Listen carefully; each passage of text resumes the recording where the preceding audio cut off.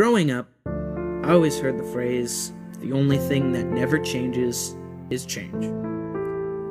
That one statement is the most accurate saying I've ever heard. Big, small, instant, or delayed, change is always happening. And will happen whether we want it to or not.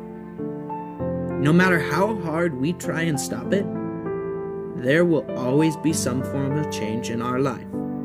Change is a constant. It is a law of this world. That can be a scary thought for some.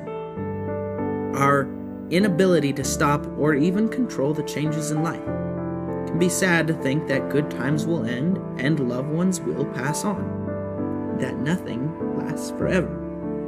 But change is not something to fear or even be sad about. It is to be celebrated, for change allows us to come across some of the best moments in our life. Without change, how would we be able to try anything new?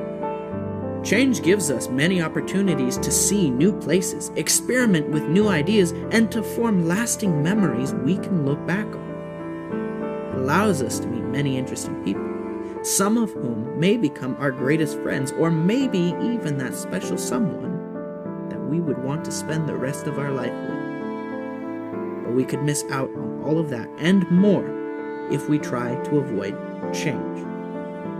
I get it, change can be painful but it's still a blessing in disguise. The blessing is that even when you hit a low spot in life, that too will change. Whatever you're going through, it won't last forever.